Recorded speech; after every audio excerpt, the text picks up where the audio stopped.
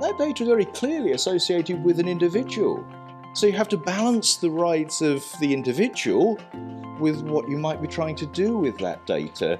It also has a real life impact, very real life impact already. Uh, this was from two or three years ago, a very famous uh, investigation by the wonderful long form journalism uh, publication called ProPublica into risk measurement algorithms used by the American justice system to determine whether you are high risk for reoffending and therefore you're supposed to be let out, not let out on bail, or if you are low risk, you'll be allowed to leave on bail. So you can get innovation, you can indeed get security, and you have privacy um, as well. So that as you can preserve those values and values of autonomy and dignity in personal data.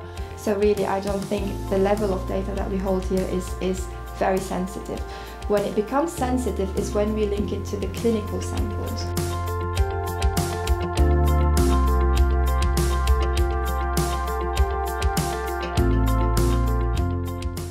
Ethical responsibility to think about how we describe and how we represent the people, also the institutions, perhaps even the artefacts that we are working with. It's trying to get value from an assemblage of lots of different sources of data, comparing them against what we know from each other, trying to triangulate something, come up with something that, that, that, that provides you know, sort of better view on what, what's really going on out there. The second ethical issue is when, essentially, as has been suggested earlier, you might be leaking out information that you weren't actually even aware of.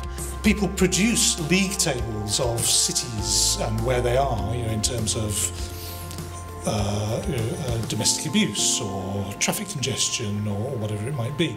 And councils really care about this. So, you know, Southampton City Council will be sitting there thinking, oh my God, we're below Portsmouth in traffic congestion. We've got to put traffic lights everywhere or get, get Ben in, in, in, into action.